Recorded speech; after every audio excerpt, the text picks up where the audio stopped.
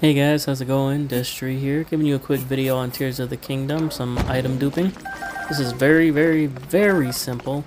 All you're doing is jumping in the air, starting a shield surf, and while you're in the middle, like in midair, hold whatever item you want. I'm doing large zonaite Uh, hold as much as you can, and then press Y and B at the same time. It might take a bit, but eventually you'll get it. Hope this helps, and I'll see you later.